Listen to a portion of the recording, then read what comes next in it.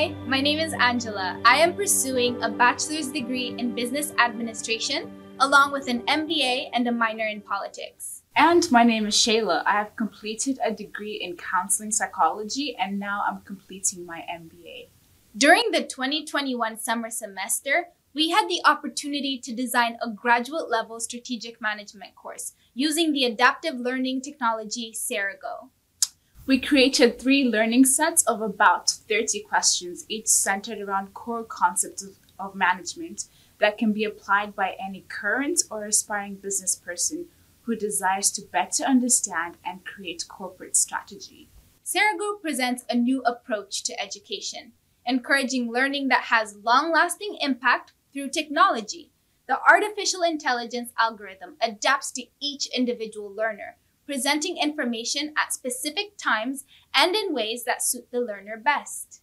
We tested our course on four undergraduate students, three graduate students, and one professor. Our students found that they could easily apply the concepts they learned through Cerego in other classes that they were taking over the summer. It is clear this will also work for classes that they are short to take in the future. One of the best things about Cerego is that it puts the responsibility of learning on the student. You get out of it what you put into it.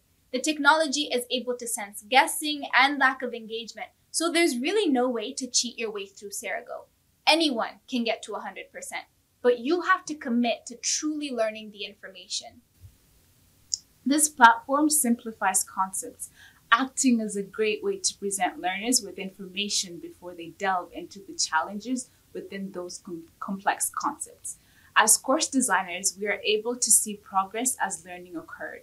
Cerego does not function like a quiz or an exam. It requires a lot less time but yields greater results than typical studying.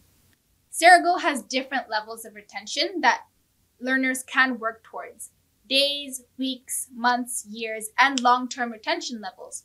What was really great to see is that all you have to do is keep engaging with the concepts a few minutes a day, and you can reach 100% in the level of retention you want. No cramming and no studying is required. All you have to do is engage with information regularly until you actually learn it. The longer you go without seeing something, the harder it is to remember it. But the number of times you review material has a big impact on whether it fades quickly from memory or stabilizes. Continually reviewing information and trying to retrieve it is the best way to build lasting memory, which is an important principle in cognitive science known as the testing effect. Cerego is so much better than the pressure of performing on a quiz. The thing that's great about it is that it does not require a certain learning style to work. It feels like a game, inciting competition and rewards for students, which make it both fun and useful. The pool of students who participated in this experiment are now better equipped to engage in critical thinking at all levels of business finance, marketing, management, operations, and especially strategy. But it's not just business. This model of learning is so applicable to other disciplines and studies, from the humanities to the natural and social sciences to music, art, and education. For us, it was very interesting to see the process from the teacher's point of view.